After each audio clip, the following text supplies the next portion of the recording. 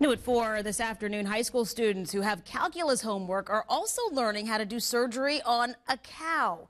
Channel 2's Linda Stouffer went to Gwinnett County where teenagers are getting a jump start on veterinary careers. This little piggy didn't want to get a shot. Good practice for future veterinarians. All right, now pull it as tight as you can. And then you're going to cut on this one. At the Wesleyan School in Peachtree Corners, high school students are practicing procedures that would make some teenagers squeamish. Kind of normal, weird at first, but got used to it. Experienced vet club members like senior Anna Mosley helped the new kids through every stitch. How did she do? She did great. Looks really good. And this is the real thing because their teacher won't let them work on a live animal until they've mastered the procedures here. I told God when I was eight that I'd take care of his animals. And I did it until I sold my business at Peachtree Corners Animal Clinic and came here.